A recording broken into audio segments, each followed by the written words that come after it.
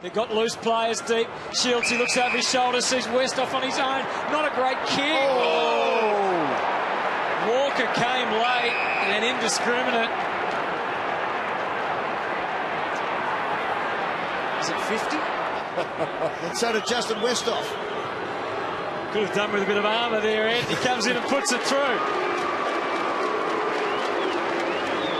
And on the back of this bloke's domination uh, in this term, let's have a look. Oh. He did get the footy uh, Yep. first uh, in defence of what ended up being a pretty crude tackle or bump.